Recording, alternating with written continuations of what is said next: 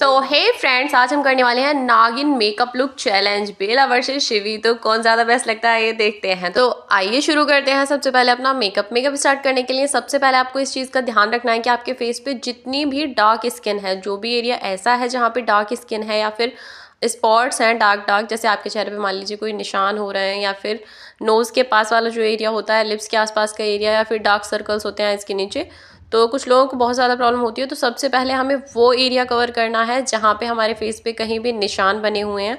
तो आप लोग देख सकते हैं इजीली कि हमको किस तरीके से कवर करना है, ठीक है? तो सबसे पहले इन स्पॉट्स को हम कंसीलर की हेल्प से कवर करेंगे और फिर अच्छे से इसे ब्लेंड कर लेंगे। फेस पे अच्छे तरीके से हम इस कंसीलर को ब्लेंड कर लेंगे और जो भी पार्ट हमारा ऐसा रह गया होगा जहाँ पे हम अच्छे से अभी नहीं लगा पाए हैं कंसीलर को तो सबसे पहले हम फेस पे कंसीलर को लगाएँगे और कंसीलर लगाने के बाद अच्छे से इसे ब्लेंड कर लेंगे ताकि फेस पे बिल्कुल भी ऐसे ना दिखे कि अलग से कुछ पोत रखा है या फिर अलग से कुछ लगा रखा है। इसके बाद आपको फाउंडेशन लेना है और अपनी स्किन टोन के अकॉर्डिंग ही आपको फाउंडेशन लेना है क्योंकि ज़्यादा व्हाइट हो जाएगा तो भी बेकार लगेगा और ज़्यादा डार्क हो जाएगा तो भी बेकार लगेगा। फाउंडेशन लेने के बाद पूरे फेस पे हम फाउंडेशन अप्लाई करेंगे। इस तरीके से मैं फाउंडेशन अप्लाई कर लेती हूँ, आप देख लीजिए, ठीक है? फाउंडेशन अप्लाई करने के बाद हमारा सेकेंड स्टेप जो होगा सेम होगा, हमें फाउंडेशन को भी पूरे फेस पे अच्छे तरीके से ब्लेंड कर लेना है। किसी ब्रश की मदद से लगा सकते हैं आप या किसी और चीज़ की मदद से लगा सकते हैं और फिर ब्लेंड करना है आपको ब्लेंडर की हेल्प से और ब्रश की हेल्प से बहुत अच्छे तरीके से। फाउंडेशन लगाने के बाद हम थोड़ा सा फेस पाउडर लेंगे और उसको एक बड़े वाले ब्रश की मदद से अपने पूरे फेस पे लगा लेंगे, जिससे क्या होगा फाउंडेशन ना एकदम से रिमूव नहीं होगा। तो पाउडर लगाना इसलिए बहुत ज़रूरी है क्योंकि आपने ये जो बेस बनाया है फेस पे मेकअप के लिए, ये आपका बेस लॉक हो जाएगा। पाउडर की मदद से, ठीक है? तो आपको पाउडर ज़रूर लगाना है।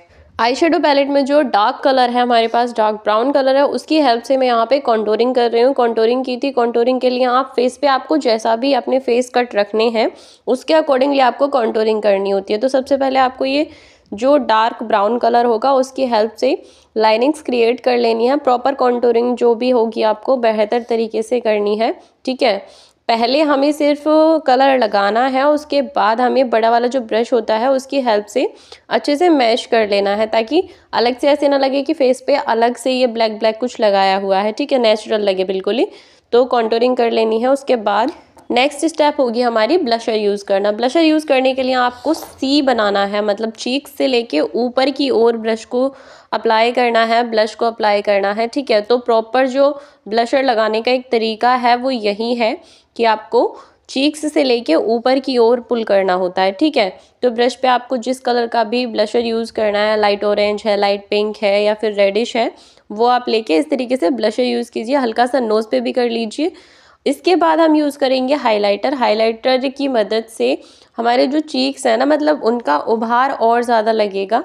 और हाइलाइटर जब भी हम यूज़ करते हैं तो हम अपने चीक्स पे यूज़ करते हैं, साथ ही थोड़ा सा नोज़ पे और चिन पे भी यूज़ करेंगे थोड़ा सा और थोड़ा सा फोरहेड पे, ठीक है? अगेन हम यहाँ पे अपना ये जो मेकअप है, इसे लॉक करने के लिए हल्का सा पाउडर यूज़ करेंगे। पाउडर ज़्यादा नहीं लेना है, वरना आपका मेकअप कवर हो जाएगा तो बहुत हल्का सा पाउडर ले रही हूँ और ब्रश की मदद से इसे पूरे फेस पे हल्का हल्का सा अप्लाई कर लेना है, ठीक है? अब हमारा नेक्स्ट मोस्ट इंपॉर्टेंट स्टेप है आईज मेकअप आईज का मेकअप हमें बहुत ही ध्यान से करना होता है, क्योंकि आईज के मेकअप पे ना पूरा मेकअप डिपेंड होता है। अगर आपने अपनी आईज बिगाड़ ली तो आपका पूरा मेकअप बेकार हो जाएगा, ठीक है?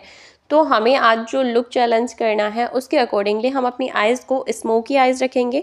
स्मोकी आइज़ बनाने के लिए आपको डार्क कलर चाहिए होते हैं। सबसे पहले ब्लैक कलर यूज़ किया है, उसके ऊपर हल्का सा सिल्वर कलर यूज़ किया है। दोनों को मिक्स कर लिया अच्छे से।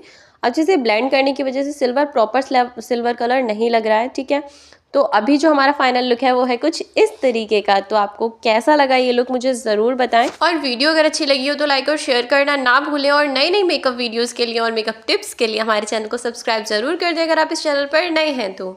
आज के लिए बस इतना ही। मिलती हूँ नई वीडियो में। तब तक के लिए बाय बाय